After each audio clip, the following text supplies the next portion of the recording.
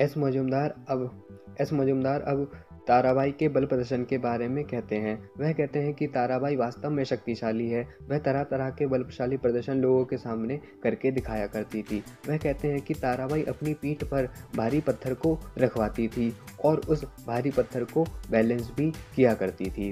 वह कहते हैं कि ताराबाई और भी शक्तिशाली प्रदर्शन कर लेती थी, जिसमें वह अपनी छाती पर भारी पत्थर को रखवाती थी और वह उनको हथौड़ों के माध्यम से तुड़वाती भी थी। तो आप जान सकते हो कि ताराबाई एक महिला होकर इतनी शक्तिशाली कैसे हो सकती है? इसका एक ही कारण है कि ताराबाई भी व्यायाम ऐसा करती थी, प्राणायाम ऐसा करती थी, जिस वजह से उनका शारीरिक बल बढ़ा और इस बल के बढ़ने की वजह से ही वह इतने शक्तिशाली प्रदर्शन को कर लिया करती थी। यह सब कुछ जो होता है वह प्राणायाम की वजह से ही होता है। प्राणायाम की सही विद्या की वजह से ही इस प्रकार के बलशाली प्रदर्शन को किया जा सकता है। और वह समय ही ऐसा था कि वहाँ पर प्राणायाम सिखाने वाले ऐसे महान गुरु थे जो बताते थे कि किस प्रकार से प्राणायाम और व्यायाम के द्वारा ताकत को बढ़ाया जाता है, अपने शरीर में बल को बढ़ाया जाता है और शक्तिशाली प्रदर्शन भी करके दिखाया जाता है।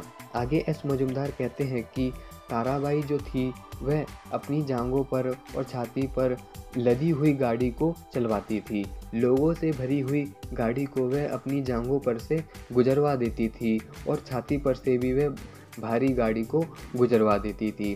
तो ताराबाई इतनी अधिक शक्तिशाली थी कि जब वह छाती पर और जांघों पर भारी, भरी हुई गाड़ी को लदवा देती थी तो हम ऐसा कह सकते हैं कि ताराबाई वास्तव में शक्तिशाली थी। आगे वह कहते हैं कि ताराबाई नुकीले भालों पर भी सोती थी।